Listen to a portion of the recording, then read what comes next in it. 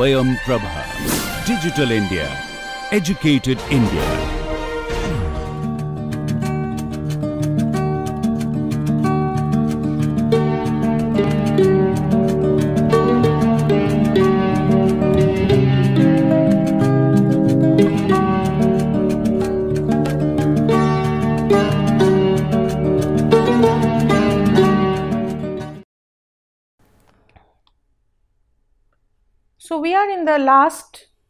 Lecture of module 5 which was on prefabricated concrete construction. In the previous lecture we had extensively covered the flooring system where we had also discussed the beam and the flooring system how it is assembled and we had also discussed how the beam is sitting on the column. Now as you all know that the load is finally transferred to the mother earth. So, the load has to be transferred through the column to the ground. Hence, we need to know whether these columns are to be independent single piece or they can also be prefabricated and even whether this foundation they finally go and meet into the foundation which can be precast or no. As the answer is yes, we can have precast columns being assembled one into the other to form a single connected column. Similarly, they can finally go and get set within the foundation and become a single structure, unified structure. So, unless and until the joints, the transfer of load is happening, we cannot get the assurance of taking such long span structures. And even along with it, we are taking so much of load, so much of large spans and if any kind of mistake is there, the entire system is going to crumble. Again I repeat, it is not like cast in situ construction that things are made together in one day casting and there is a continuity. Here the rods are ending, another set of rods are starting. So, there is no lap, no possibility unless and until the joining between the two is very rigid. So, we come to in this particular lecture to the columns, the foundation and another interesting material which is ferro cement which is also a prefabricated material and it is very much contextual to our country context that is developing country context which we are little bit of challenged while using the other precast structures, we can always go for ferro cement structures. So, we will go into precast concrete foundation, precast concrete column and ferro cement precisely. So, you see here the ferro cement, the precast concrete footing.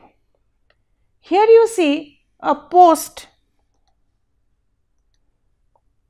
or a column which is actually subjected to different kinds of loads from the beam, it is finally transmitting it to the foundation or the footing. Here you can see on site there is there are number of footings made according to the location of the column.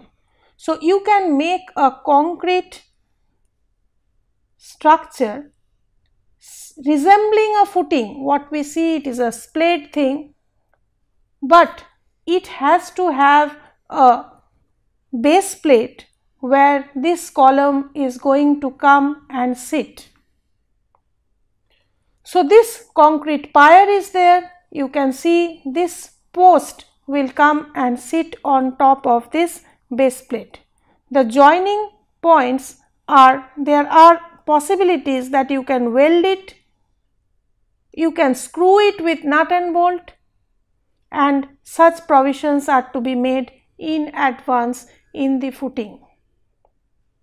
So, if you can create this, design this, then you can also make a foundation which will take in the load which is transferred to it through the column. And this column and this foundation joint is through this base plate where a number of screws, nuts and bolts, groutings etc. are done to hold this column in position.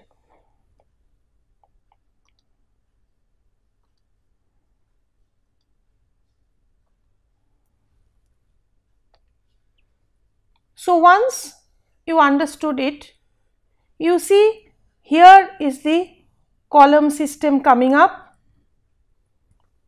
You can see multiple columns in the same site maybe which is having such kind of footing and then there is a connecting beam.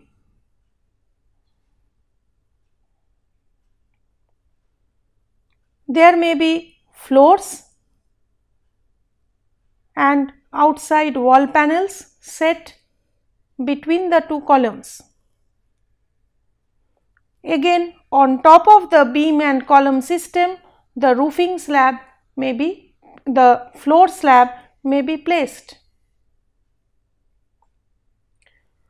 When these can be concrete, it could also be steel columns you see this is I section, this is an I section.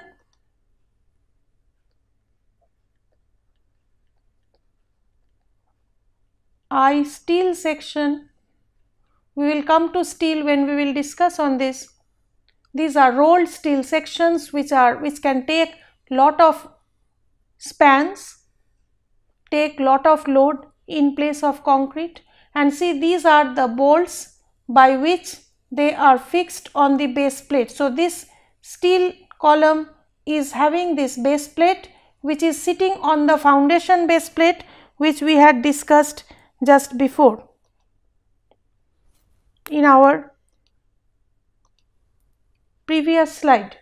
So, this base plate on this base plate actually this can be fixed. So, this is the plan and once it is coming up in section it won't look like a solid rather it will look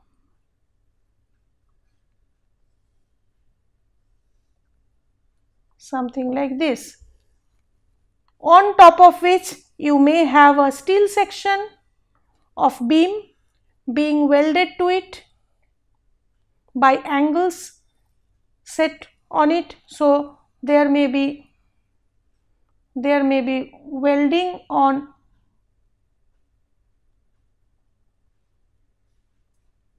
with the beam on top of it. So, there may be a steel, steel assembly entirely instead of a concrete assembly. But finally, maybe the roof system, the floor system is a precast flooring system. So, what is it, what are we gaining through it is we are reducing our time of construction.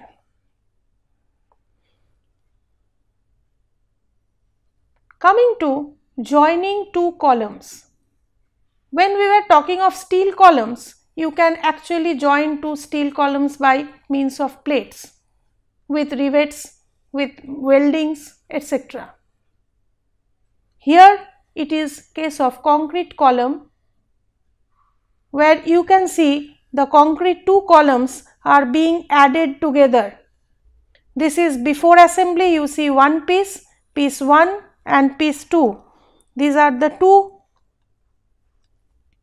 items again below it may be piece 3. So, from ground it can be assembled one on top of the other by means of plates together connected giving a mechanical bond. So, metal bearing plates are embedded and embedded anchor bolts are cast into the end of the column for giving mechanical joint. and then you see in the second picture. So, these are the bolts, these are the nut bolts here and after which these edges are grouted, these edges are actually filled in by grouts. So, once this, this plate shim is connecting the two through this base plate, now these nuts and bolts are tightened up and then they are packed with their proper alignment. These actually these groutings or the filling protects the steel whichever is seen from fire and corrosion. So, this fire may weaken it, corrosion may eat it away, wither it away because no one can access these portions many a time. Maintenance is very important. So, you are sealing or plugging these points and not allowing fire or air or moisture to react with these nuts and bolts so that there is no kind of mechanical failure. So, the joint between the two columns is also very important as we had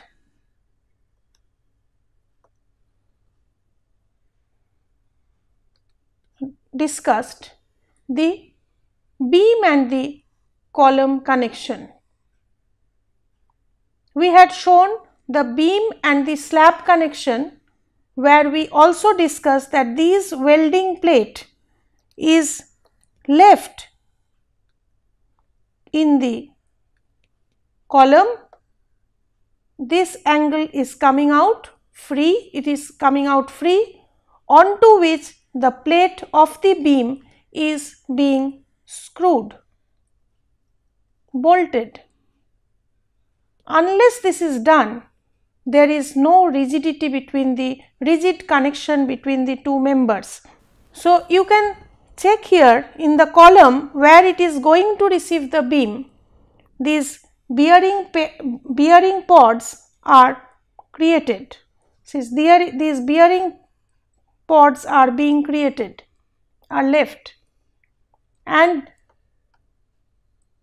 with the dimension known to the fabricator that this kind of beam will be received, they are keeping position of this weld plate, provision of this weld plate.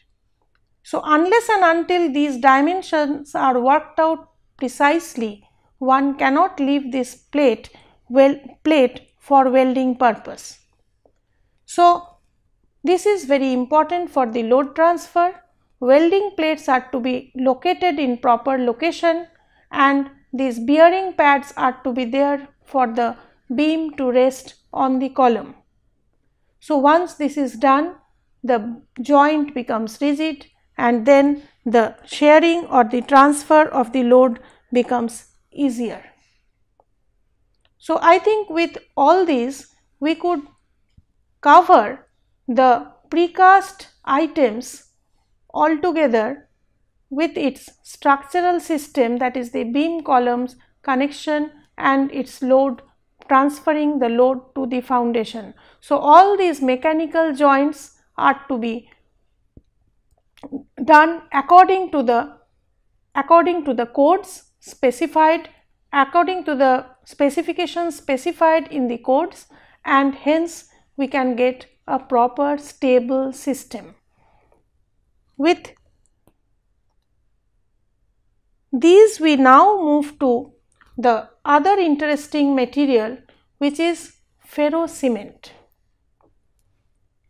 As we had seen the concrete masonry units which are made of definite sizes and which are largely used now in India that is developing country context. This is another material which is very low cost, cheap and also a precast item. This is called ferro cement where a construction, it is a construction element maybe beam, maybe slab, maybe dome, any shape you can think of, you can make it with this item which is ferrocement. It is a system where steel bars are first placed and then it is wound that is it is covered by chicken wire mesh. Chicken wire mesh is very as you have seen maybe fencing. You can see chicken wire mesh. They are made of say 0.4 millimeter diameter rods. 0.4 0.4 millimeter sorry 4 millimeter diameter 0.4 centimeter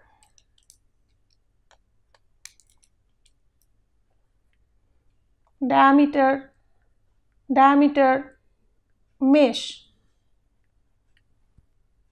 So these wire mesh may be hexagonal wire mesh or maybe rectangular wire mesh. As you can see in this picture you can see the wire mesh so, this steel reinforcement of the desired shape is first kept, first placed, see, this mason is first placing the main rods on top of which he has wound this chicken wire mesh. And then what has he done? He has kept it on ground and he has actually pushed in concrete inside it, mortar inside it. So, once that is done, he is getting shapes of rectangle with some thickness all around as you can see in the picture here. So, this is not fabricated in the in the factory, but he is making it here and then how is he using it? We will come to see. Now, what is the thickness you can observe? Some 30 to 35 millimeter maybe here. How big are the units?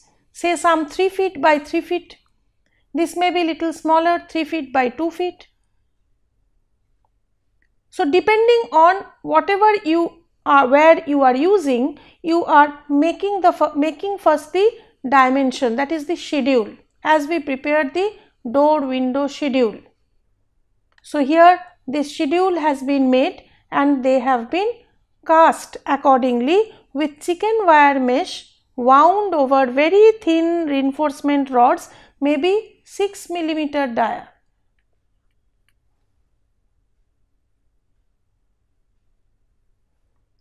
So, this is 0.4 millimeter only.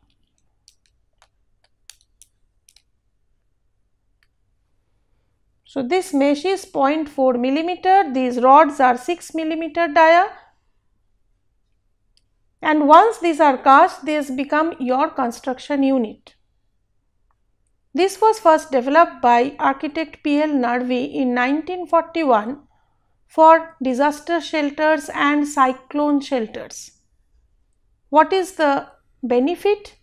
These can sway, be, being light in weight they can sway, they can being low, being less in weight, they can absorb the earthquakes and you can go for low cost construction.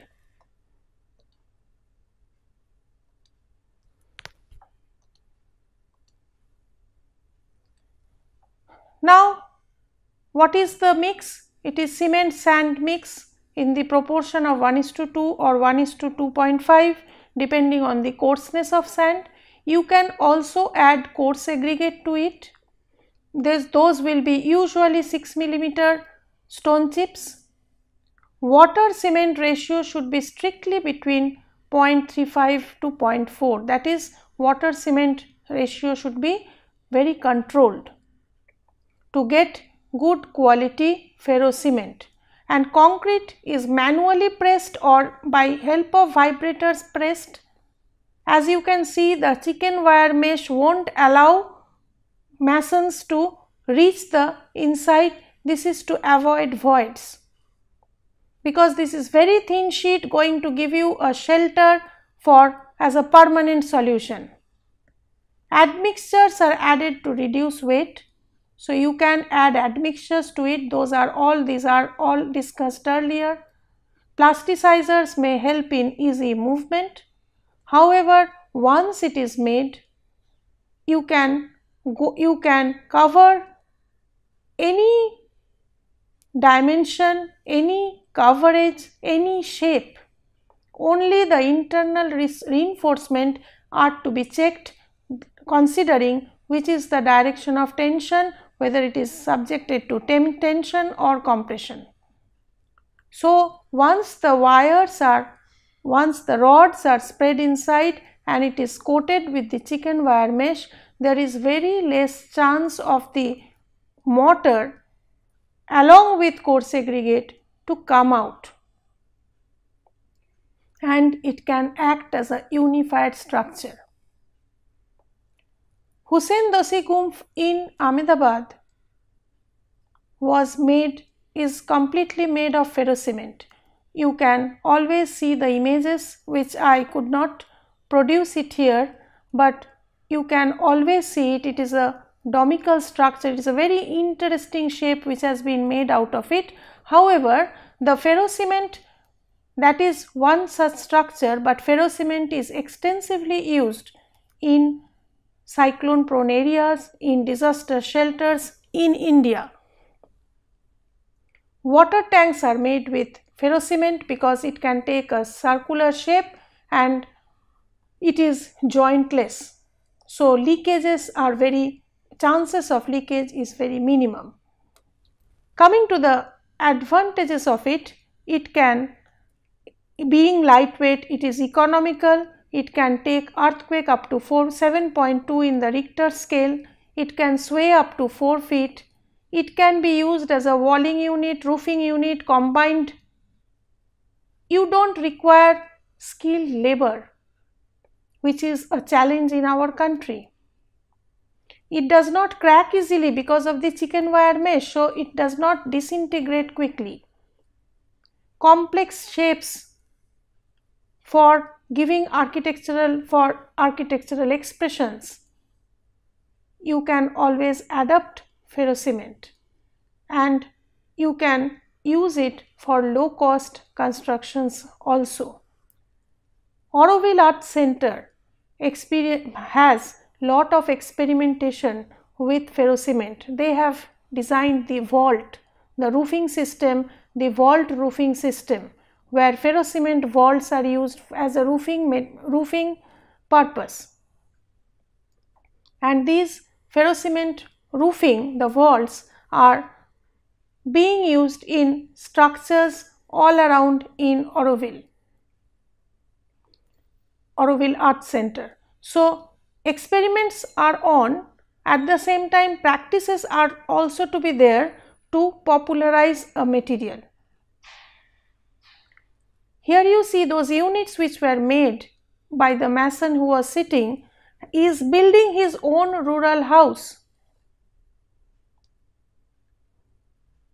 Getting the technology from our institute. So, you see these all units are made one after the other and this is being placed within a frame where you can see the beam is not beam is here another beam was here and he is actually filling it with means of these panels and this is becoming a faster method of construction. This is the roofing where you see the chicken wire mesh you can see and the roof is being cast here directly not like the vault system but it is cast here directly. However, you can cast it below and place it on top of the roof. That could also be done. So, we can conclude conclude that these precast structures can reduce time of construction but involves skill and mechanized method. In our country context, it is not so easy to adapt even till date. Yes, this is a dry method of construction which is a very positive side of it though your units are all coming being made to site where you are using the water. So, it is a controlled environment hence quality is much de desired quality is always attained. Provision of expansion has to be kept particularly on the walling system where you cannot join them where you neither can join them completely nor you can leave gaps. So, sealing has to be very properly done which in case of the flooring system is not that much challenged. However, to get a finished surface mortar is being used to connect all the units. Beam column slab connections are very critical for transfer of load. Ferrocement is another method which is a low technology to make precast building units. However, this ferrocement use is not that popularized and is not that much in use on a regular basis, though it can be taken up and it can be made more popular. So, with these we end this module 5 on pre, pre fabricated construction system particularly we covered the concrete elements, but we also have foam steel embedded PUF panel system etc., which initially was thought of to be put into this module, but due to lack of time we will discuss it in some other module. Thank you for now.